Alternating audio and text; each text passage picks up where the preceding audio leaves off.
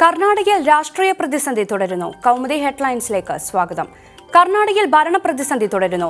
രാജിക്കൊരുങ്ങി പത്ത് ഭരണകക്ഷി M L എമാർ ഏഴ് കോൺഗ്രസ് എം എൽ എമാരും മൂന്ന് J D S M L എമാരും സ്പീക്കറെ കാണുന്നു. പ്രമുഖ നേതാക്കളായ എച്ച് വിശ്വനാഥ രാമലിംഗ റെഡ്ഡി എന്നിവർ രാജ്യസന്നദ്ധത അറിയിച്ചു. ജെ ഡി എസ് മുൻ സംസ്ഥാന അധ്യക്ഷനാണ് എച്ച് വിശ്വനാഥ. മുൻ ആഭ്യന്തരമന്ത്രിയാണ് രാമലിംഗ റെഡ്ഡി പതിനഞ്ച് എം എൽ എമാർ രാജിവെച്ചാൽ സർക്കാർ ന്യൂനപക്ഷമാകും. പ്രശ്നം പരിഹരിക്കാൻ A general secretary K C Venugopal ബംഗളൂരുവിലേക്ക്. നിയമോപദേശം തേടി മുഖ്യ തെരഞ്ഞെടുപ്പ് ഓഫീസർ. വട്ടിയൂർക്കാവ് നിയോജക മണ്ഡലത്തിൽ ഉപതെരഞ്ഞെടുപ്പ് നടത്താൻ തടസ്സമില്ലെന്ന മുഖ്യ തെരഞ്ഞെടുപ്പ് officer Tikaram Meena.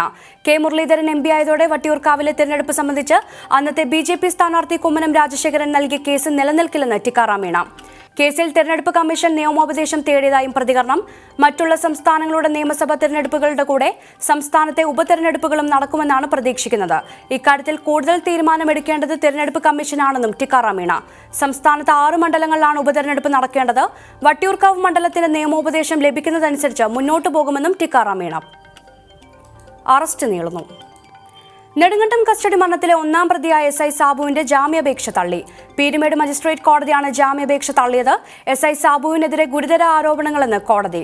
കസ്റ്റഡി മരണത്തിൽ രണ്ടും മൂന്നും പ്രതികളായ S I A S I Rijimon driver Niyas എന്നിവരുടെ അറസ്റ്റ് നീളുന്നു. പ്രതികൾ ഒളിവിലെന്ന് ക്രൈംബ്രാഞ്ച് പ്രതി നിയാസ് കഴിഞ്ഞ ദിവസം വരെ വീട്ടിലുണ്ടായിരുന്നതായി സൂചന. ഇവർ മർദ്ദനത്തിൽ നേരിട്ട് പങ്കെടുത്തതായി ക്രൈംബ്രാഞ്ച് കണ്ടെത്തൽ കസ്റ്റഡി മരണത്തിൽ ഒന്നും നാലും പ്രതികളായ പോലീസുകാരാണ് നിലവിൽ അറസ്റ്റിലായിട്ടുള്ളത്. മൊഴികളുടെയും തെളിവുകളുടെയും അടിസ്ഥാനത്തിൽ മർദ്ദനത്തിൽ ഇവരുടെ പങ്ക് ക്രൈംബ്രാഞ്ച് സംഘത്തിന് ബോധ്യപ്പെട്ടതായി സൂചന.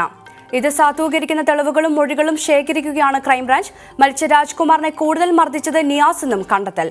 ജൂൺ പന്ത്രണ്ട് മുതൽ പതിനാറ് വരെ നെടുങ്കണ്ടം സ്റ്റേഷനിൽ ജോലിയിലുണ്ടായിരുന്ന മുഴുവൻ പോലീസുകാരുടെയും വിശദ വിവരങ്ങളും ക്രൈംബ്രാഞ്ച് സംഘം ശേഖരിച്ചു. പോലീസ് ഉദ്യോഗസ്ഥരുടെ മൊഴികളിലെ വൈരുദ്ധ്യവും അന്വേഷണ സംഘം പരിശോധിക്കുന്നുണ്ട്. അതേസമയം നെടുങ്കണ്ടം സ്റ്റേഷനിലെ മുഴുവൻ പോലീസുകാർക്കെതിരെ നടപടി ഉടൻ ഉണ്ടാവില്ല. പകരം നിയമിക്കാൻ പോലീസുകാർ ഇടുക്കി എ ആർ ക്യാമ്പിൽ ഇല്ലാത്തതാണ് ഇതിന് കാരണം. കൺവെൻഷൻ സെന്ററിന് അനുമതി. ആന്തൂരിൽ ആത്മഹത്യ ചെയ്ത പ്രവാസി വ്യവസായി സാജൻ പാറയിലിന്റെ കൺവെൻഷൻ സെന്ററിന് പ്രവർത്തനാനുമതി. തദ്ദേശ സ്വയംഭരണ വകുപ്പ് അഡീഷണൽ ചീഫ് സെക്രട്ടറിയുടേതാണ് ഉത്തരവ്. കൺവെൻഷൻ സെന്ററിന് ഉടൻ ഒക്യുപ്പൻസി സർട്ടിഫിക്കറ്റ് നൽകാൻ നഗരസഭാ സെക്രട്ടറിക്ക് നിർദ്ദേശം നൽകി. നഗരസഭാ സെക്രട്ടറി കൺവെൻഷൻ സെന്ററിൽ പരിശോധന നടത്തി. ചട്ടലംഘനങ്ങൾ പരിഹരിച്ചെന്ന് ഉറപ്പുവരുത്തണം. അതേസമയം പാർത്ത കൺവെൻഷൻ സെന്ററിന് അന്തിമ അനുമതി ലഭ്യമാകുന്നതിനുള്ള പരിഷ്കരിച്ച പ്ലാൻ ഈ മാസം എട്ടിന് ആന്തൂർ നഗരസഭയ്ക്ക് സമർപ്പിക്കും. സെക്രട്ടറി എഞ്ചിനീയർ എന്നിവരുടെ പരിശോധന ഈ മാസം എട്ടിന് നടക്കും. ചീഫ് ടൗൺ പ്ലാനറുടെ സംഘം കണ്ടെത്തിയ നാല് പിഴവുകളിൽ മൂന്നെണ്ണവും പരിഹരിച്ചു. റാം ബാൽക്കണി ശുചിമുറി എന്നിവയുമായി ബന്ധപ്പെട്ടുള്ള ലംഘനങ്ങളാണ് പരിഹരിച്ചത്. തുറസായ സ്ഥലത്ത് ജലസംഭരണി സ്ഥാപിച്ചതിന് ഇളവ് തേടി മന്ത്രി എ സി മൊയ്തീൻ അപേക്ഷ നൽകിയിട്ടുണ്ട്. ഇതിൽ രണ്ട് ദിവസത്തിനകം അനുകൂല തീരുമാനം ഉണ്ടാകുമെന്നാണ് പ്രതീക്ഷ. ജൂൺ പതിനെട്ടിനാണ് ബക്കളത്തെ പാർത്താസ് കൺവെൻഷൻ സെന്ററിന് അന്തിമ അനുമതി ലഭിക്കാത്തതിൽ മനം നൊന്ത് സാജൻ ആത്മഹത്യ ചെയ്തത്. അംഗത്വം കൂട്ടാൻ B J P. B J പിയുടെ അംഗത്വ വിതരണ പദ്ധതിക്ക് വാരണാസിയിൽ തുടക്കം കുറിച്ച് പ്രധാനമന്ത്രി നരേന്ദ്രമോദി.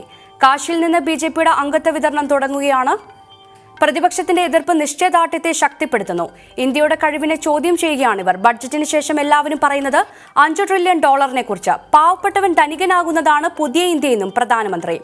വാരണാസിയിലെത്തിയ മോദി മുൻ പ്രധാനമന്ത്രി ലാൽ ബഹദൂർ ശാസ്ത്രിയുടെ പ്രതിമ അനാച്ഛാദനം ചെയ്താണ് പദ്ധതിക്ക് തുടക്കം കുറിച്ചത്. വാരണാസിയെ ഹരിതഭാവമാക്കുക എന്ന ലക്ഷ്യത്തോടെ സംഘടിപ്പിക്കുന്ന വൃക്ഷത്തൈ നടൽ പരിപാടിക്ക് മോദി തുടക്കം കുറിക്കും. പ്രധാനമന്ത്രിയായതിനു ശേഷം ഇത് രണ്ടാം തവണയാണ് മോദി വാരണാസിയിലെത്തുന്നത്. നേരത്തെ കാശി വിശ്വനാഥ ക്ഷേത്രത്തിന് സന്ദർശനത്തിനായി മോദി വാരണാസിയിലെത്തിയിരുന്നു. കേരളത്തിലും ഇന്ന് അംഗത്വ വിതരണം ക്യാമ്പയിൻ സംഘടിപ്പിക്കും. സംസ്ഥാനതല ഉദ്ഘാടനം കേന്ദ്രമന്ത്രി നിർമ്മല സീതാരാമൻ തിരുവനന്തപുരത്ത് നിർവഹിക്കും. മുൻ ഡി ജേക്കബ് തോമസ് അടക്കമുള്ളവരെ ബി ക്ഷണിച്ചിട്ടുണ്ട്. ആരോപണവുമായി വിദ്യാർത്ഥികൾ. വർക്കല എസ് ആർ മെഡിക്കൽ കോളേജിനെതിരെ ഗുരുതര ആരോപണവുമായി വിദ്യാർത്ഥികൾ. മെഡിക്കൽ കൗൺസിൽ പരിശോധനയ്ക്കായി രോഗികൾ എന്ന വ്യാജേനെ പണം കൊടുത്ത ആളുകളെ എത്തിക്കുന്ന ദൃശ്യങ്ങൾ വിദ്യാർത്ഥികൾ പുറത്തുവിട്ടു.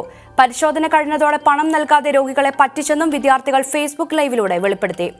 Stand students of S R medical college എന്ന ഫേസ്ബുക്ക് പേജിലൂടെയാണ് വിദ്യാർത്ഥികൾ ദൃശ്യങ്ങൾ പുറത്തുവിട്ടത്.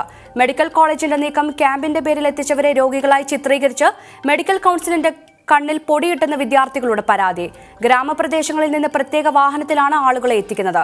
ഏജന്റ് വഴി നൂറ് മുതൽ മുന്നൂറ് രൂപ വരെ നൽകിയാണ് ഇവരെ കൊണ്ടുവരുന്നതെന്നും വെളിപ്പെടുത്തൽ. കൗമുദി ഹെഡ്ലൈൻ സമാപിക്കുന്നു. പുതിയ വാർത്തകളുമായി ഒരു മണിക്കൂറിന് ശേഷം ടീന അന മാത്യു ചേരും. നമസ്കാരം.